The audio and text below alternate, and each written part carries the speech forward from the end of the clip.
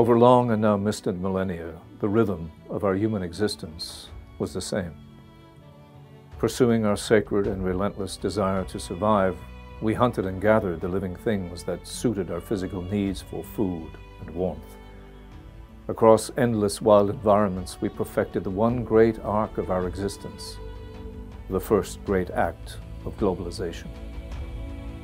We marched slowly out of Africa and encircled our world, driven by need and curiosity and fueled by the death of wild others. Perfecting our weapons, we fashioned the stone, honed the bone and wood, and hunted our way into modernity. Against nearly impossible odds, we developed a pathway to existence that was to become the hallmark of our species and the most enduring portal to our natural selves. Humans became the greatest hunters the natural world has ever seen. No other species could match the range of our capacity or the limitlessness of our inventions. Small, slow, and fragile, our children rose to strength and stature of the flesh and bone of wild brethren. Upon our campfires roasted the great and fierce giants of the animal world. Along ocean margins and ice-field skirts, and from the endless steppe to brooding mountain peak, the hunter excelled.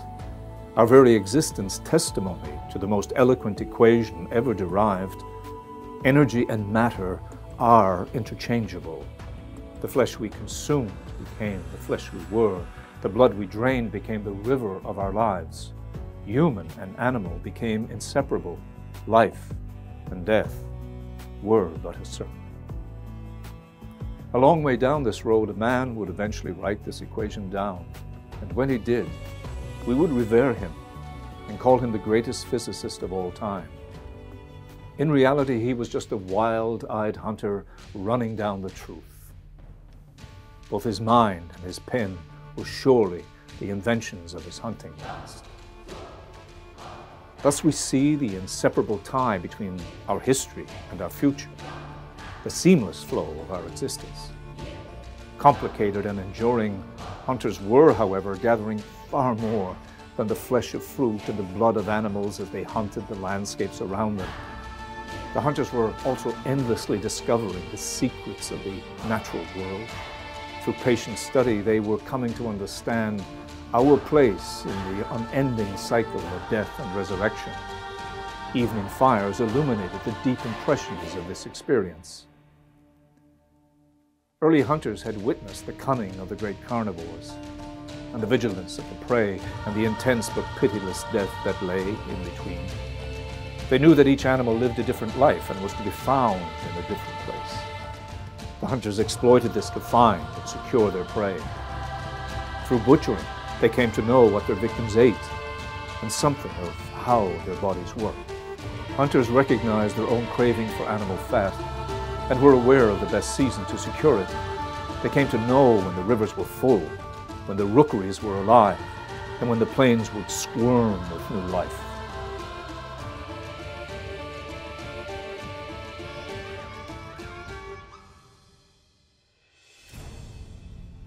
Consciously suspended in the wondrous web of life, human hunters would inevitably become the first ecologists. Along this miraculous way, the hunter also came to understand the profound implications of procreation. Observing the wondrous bond between wild mother and offspring, they watched as tiny new life was birthed and the female turned to consume the sac from which it writhed. Enthralled by the ferocious passions of males in the rut, passions that allowed hunters to approach and kill them, hunters came to understand the function of display and ornamentation in mating, the flash of antlers, the costumes and colors of the strutting male, the dancing of cranes. And so the earliest stirrings of the human artist were realized and eventually set free.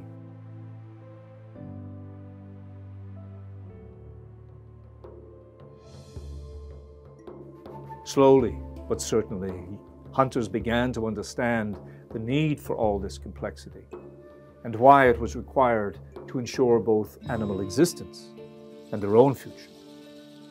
Lush grasses became fat deer, from which the wolf pup was spawned. And so it was for the human child as well. Like their animal counterparts, human tribes, well nourished by the abundance of animals, prospered and bore many strong children to strong mothers and fathers who passed their knowledge and traditions along. This knowledge bore witness to the indivisibility of life and that the miracle of transubstantiation was no rare thing. Indeed, did not the flowers grow in abundance where the mammoths were butchered?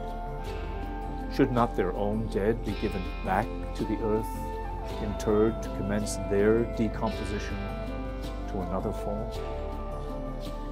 In coming to understand this great cycle of life, death, and rebirth, the human animal explored the boundaries of reality, the horizons of existence. Finally, humans would acknowledge the wondrous parallels between the lives of other animals and their own capacities, needs, and emotions.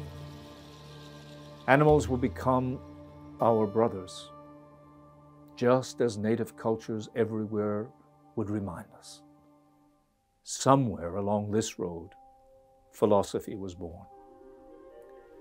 So it was surely inevitable that awe and spirituality would rise in the human species. Faced with a world of startling fullness, yet with existence a struggle for all, humans were led to question their own origins and the purpose of existence. They saw the wondrous complexities around them, but where, in all of this magic and mayhem, did they fit? An expanding brain, fueled by animal protein and an increasing emphasis on tool use and manufacture, carried with it the increased capacity to reason and to reflect. Falling sometimes to the great predators that made humans their prey, and at others elated by killing great beasts where weakness would have meant failure. The hunting human prevailed and saw the world through a primate's eyes, but with a predator's vision. Thus it was that hunting cultures around the globe developed rich mythologies centered upon the natural world.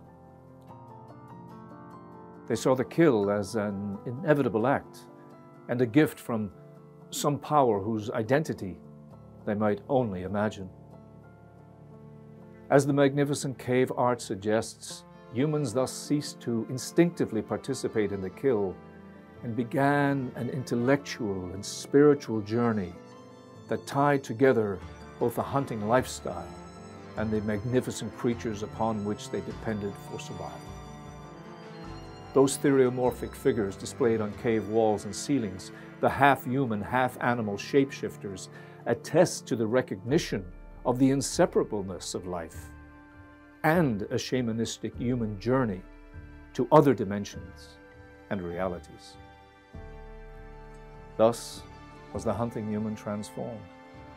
No longer a creature who killed with indifference, but one who could worship the beauty and grace of the wild others, and who could be convinced that hunting was not only something that was, but something that always had to be. The wild others thus became essential companions of the hunter, more than just meat and marrow. It was through the hunt that we came to understand the very nature of existence. At a crucial point in our journey, we stepped away from the path of others and re-entered nature in a more vital and conscious way. Our metamorphosis from brute to intellectual carried these notions of art and beauty, the imaginings of parallel universes, the concepts of resurrection and transubstantiation, the logic of empirical observation, and the miraculous preoccupation with trying to find a purpose for it all. Biologically as constrained as ever, humanity was, however, set free in the truest sense of the word. These deepest parts of our humanity are not the constructs of modernity, of Newtonian science or Judeo-Christian beliefs. These concepts were already fully formed when the handheld spear was still being thrust through the mammoth's ribs.